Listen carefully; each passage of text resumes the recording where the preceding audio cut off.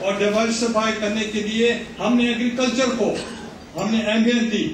क्योंकि एग्रीकल्चर की, जो हमारी वीट शॉर्टेज थी, हमारी बम्पर क्रॉप हो गए और जब फिर पैडी की बारी आई तो वो बम्पर क्रॉप हो गए और हम चाह रहे हैं कि हम इसमें फ़ूड में हम जो है सेल्फ सफिशिएंट हों और उसके लिए हम एग्रीकल्चर की तरफ़ तवज्जो कर। रहे हैं तो इसलिए हमने उस उस, उसकी तरफ़ तवज्जो की, मैशत की तरफ़ तवज्जो की और हमें बहुत मुश्किल फैसले करने पड़े। हमें अनपॉपुलर फैसले करने पड़े। हमें आईएमएफ के फोर्ड में आना पड़ा। और आईएमएफ की कंडीशनैलिटीज थी, वो खासी सख्त थी। मगर हमें मजबूरन कबूल करना पड़ा। कोई कोई डेमोक्रेटिक गवर्नमेंट नहीं चाहती कि वो अनपॉपुलर डिसीज़न करने के बाद फर्दर वो अनपॉपुलर होने की कोशिश करें, मगर हम समझते थे हमारे मुल्क के लिए बेहतरी क्या है। और हमने मुल्क की बेहतरी के लिए, हमने वो डिसीज़न किए, हमने वो सब्सिडीज विड्रॉ कर दी हमने टैरिफ्स को कुछ बढ़ाया। और उसके बाद जब हम आए तो उस वक्त फॉरेन रिज़र्व सिक्स बिलियन था, आज फोर्टीन पॉइंट सेवन बिलियन तो ये ये इकोनॉमी को दुरुस्त करने की तरफ़ हम चले और दूसरा जो सबसे बड़ा इशू था, वो law and order law and order directly affects the economy जब तक लॉ एंड ऑर्डर ठीक नहीं होगा, उस वक्त तक इन्वेस्टमेंट्स नहीं होंगी। With one suicidal bomb attack there is a flight of capital and no investment in Pakistan हमने वो चैलेंज कबूल किया। हमने वो दहशत गर्दी के खिलाफ। हमने वो एक एक्सट्रीमिज्म के खिलाफ हमने चैलेंज कबूल किया और आपने देखा कि हमने मालाकंड में हमने मिलिट्री ऑपरेशन किया। मगर मिलिट्री ऑपरेशन करने से कबल हमने पार्लियामेंट को इतमाद में लिया। हमने ऑल पार्टीज़ कॉन्फ्रेंस की। हमने हाउस के अंदर और और हाउस के बाद जो लीडरशिप थी, उसको हमने यकजा किया। एक जगह पे इकट्ठा किया और पूरी कौम ने मिलिट्री एक्शन को सपोर्ट किया और आपने देखा कि मिलिट्री एक्शन बहुत successful in Malakand and in Swat और सिर्फ़ हम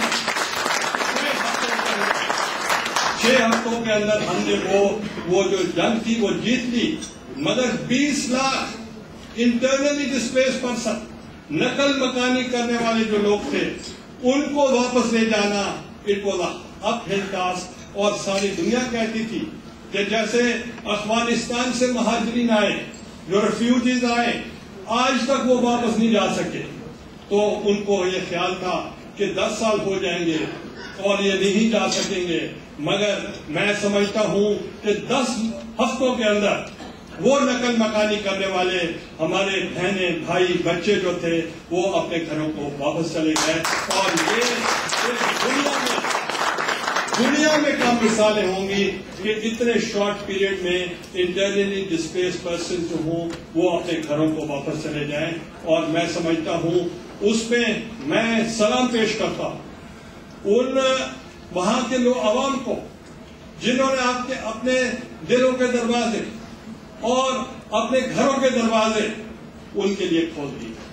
और उनको, उन्होंने अपने पास रखा, उनकी खिदमत की और उनको उन्होंने वही सुन्नत नबी के मुताबिक उन्होंने उस, उन, उनका ख्याल किया और मैं लॉ इन्फोर्समेंट एजेंसी और अपने बहादुर जवानों को फौज को भी मैं खराज तहसीन पेश करता हूँ कि उन्होंने अपना आज कुर्बान करके आपके कल को सिक्योर किया और अपनी जाने जानों का नजराना दिया।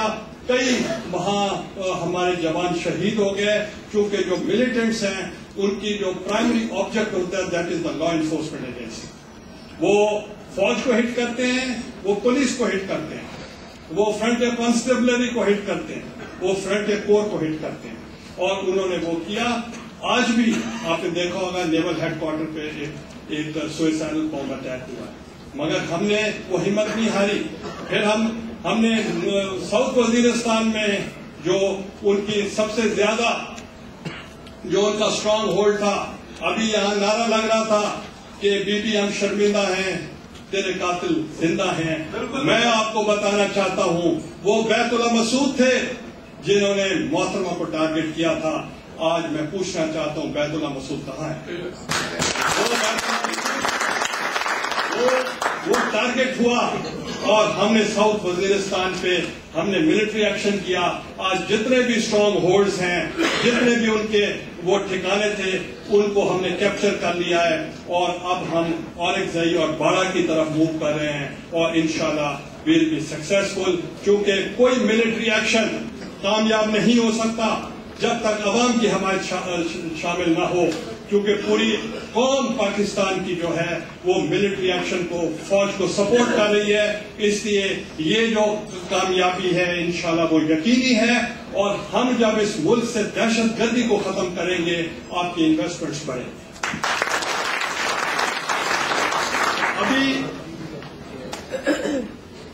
यहाँ जब पाकिस्तान पीपल्स पार्टी बरसर इकतदार में आई तो मैंने पहले रोज मंशूर का ऐलान किया। क्योंकि मैं उस मंशूर कमेटी में था जिसमें मोहतमा बेनजीर भोटा साहबा ने बने थे। और मैंने चारों सूबों का दौरा किया था। और उस मंशूर में हमने बहुत सारी बात, बातें, बातों का ज़िक्र किया था। और आज मैं आपसे पूछना चाहता हमने वहाँ सबसे पहले हमने कहा था कि हम इस मुल्क से ड्रैकोनियन लॉ खत्म करेंगे और मीडिया को आज़ाद करेंगे। और हमने मीडिया को आज़ाद किया और वो ड्रैकोनियन लॉस जो थे, जो आमरीत के दौर के थे, हमने उनको खत्म किया और मैंने खुद जाकर असेंबली में कहा कि हम उन ड्रैकोनियन लॉज को, जो एक काउंसिल बन रही थी, हम उसको कबूल नहीं करते। इसी ही तरीके से हमने ऐलान किया था कि हम कोई पॉलिटिकल विक्टिमाइजेशन नहीं करें। क्योंकि इंतकाम और एहतसाब इसमें मामूली फ़र्क है। और हमने कहा कि हम नहीं चाहते कि हम एहतसाब के नाम पर किसी से इंतकाम लें। हम इसमें बिलीव नहीं करते। और आज मैं आपको बताना चाह रहा हूँ कि पाकिस्तान में कोई सियासी कैदी नहीं है।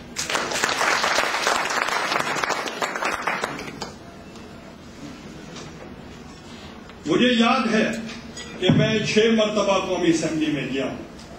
मुझे याद है कि पाकिस्तान की तारीख में, मेरी सियासी तारीख में ऐसा नहीं हुआ कि ऑपोजिशन को फंड्स में बराबरी की सतह पर हिस्सा दिया जाए। मगर मैंने पहली मरतबा यह किया कि हाँ तो कोई किसी जमात से हो, हमने सबको फंड्स बराबर कर दिए। और हमने जो डेवलपमेंट के लिए फंड्स दे रहे हैं, उस पर हमने ये नहीं तफरीक की कि ये अपोजिशन से है, या हुकूमत से है, या किसी जमात से है, हमने सबको बिला तफरीक, सबको इक्वल अपॉर्चुनिटीज़ दिए और सबको फंड्स हम दे रहे हैं। और हती कि आज भी सुबह असेंबलियों में, ये हमारे कौमी असेंबली के अरकान बैठे हैं। सुबह असेंबलियों में जो जो फंड्स की जब डिस्ट्रीब्यूशन होती है, वो खातन को फंड्स नहीं देते वो कहते उनकी कॉन्स्टिट्युएंसी नहीं है। वो अकलीतों को फंड्स नहीं देते। वो कहते उनकी कॉन्स्टिट्युएंसी नहीं है। यहाँ अकलीतों के वज़ीर बैठे हैं। वो रिप्रेजेंट द क्रिश्चियन कम्युनिटी आप उनसे पूछें कि क्या हमने कभी तफरीक की? हमने कोई तफरीक नहीं की। और मैं कहता हूँ कि खातन और अकलियत मेरी कॉन्स्टिट्युएंसी और आपको मैं बताऊँ सेनेट में हमने दो दो हिंदू कम्युनिटी से हमने सेनेटर्स बनाए, मगर मुस्लिम सीट से। ये मुझे पता है, पहले कहा मिसाल कि सेनेटर्स हो, मुस्लिम सीट से, और हमने हिंदू कम्युनिटी से उनको हमने सेनेटर बनाया। आज भी दो सेनेटर्स मौजूद हैं, एक खातून है और एक एक मर्द है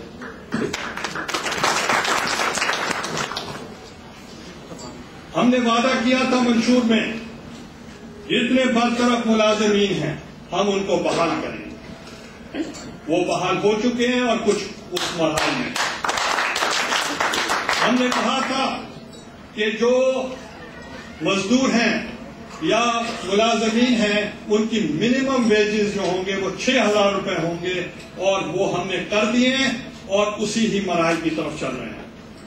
हमने वादा किया था Benazir income support program introduce करें। हमने विमेन एम्पावरमेंट की बात की थी, ताकि जो बेनजीर इनकम सपोर्ट प्रोग्राम होगा, जो खातून खाना है, जो घर की सरबराह हैं, उनको वो काम मिलेगा।